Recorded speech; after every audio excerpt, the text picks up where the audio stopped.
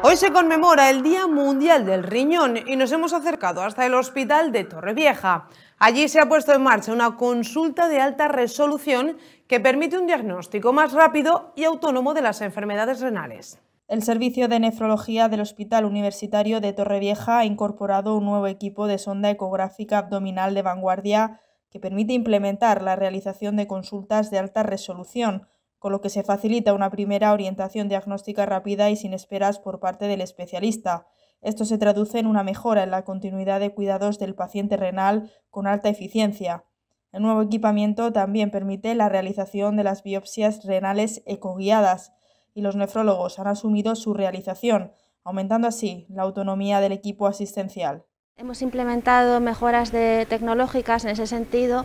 Tenemos una nueva sonda abdominal para el ecógrafo del servicio, que eso facilita que podamos realizar las biopsias renales los nefrólogos, con lo cual ganamos en, en independencia, en autonomía y mejoramos la cartera de servicios y además estamos implementando una consulta de alta resolución para poder ver patologías groseras renales y enfocar eh, mejor a los pacientes.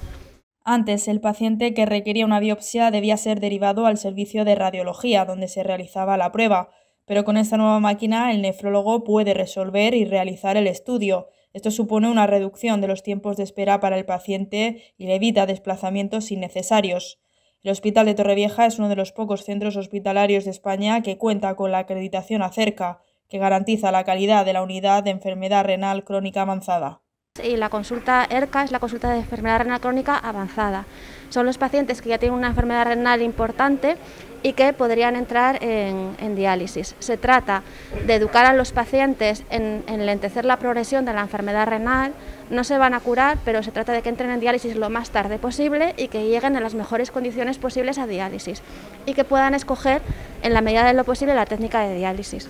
Por ello hemos aumentado el personal, tanto médico como de enfermería, y consiste en explicarles bien a los pacientes eh, qué supone su enfermedad, qué deben hacer para su tratamiento, modificar estilo de vida, hábitos dietéticos, cumplimiento de medicación, que conozcan para qué sirve cada pastilla que, están tomando. En definitiva, supone empoderar al paciente para que sepa controlar su, enfermedad y poder escoger la técnica de diálisis y llegar a tiempo y en buenas condiciones a tratamiento renal sustitutivo. Tras la recuperación pública del departamento se ha incrementado la dotación tecnológica, pero también los recursos humanos por parte de la Consellería de Sanidad. Se ha aumentado la plantilla de enfermería pasando de 14 a 17 enfermeras, de 5 a 8 auxiliares de enfermería y se ha incorporado un nuevo celador a tiempo completo para el servicio. A nivel médico se ha sumado una nefróloga al equipo y en los próximos meses se incorporará otro nuevo profesional.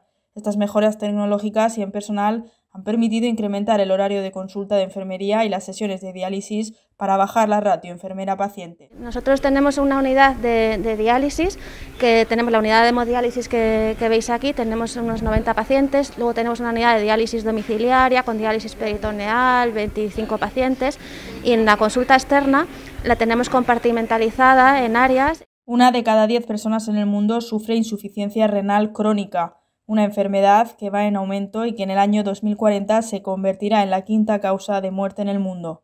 Sí, la enfermedad renal crónica, la principal causa de llegada a diálisis en, los países avanzados como en España es la nefropatía diabética, es la diabetes.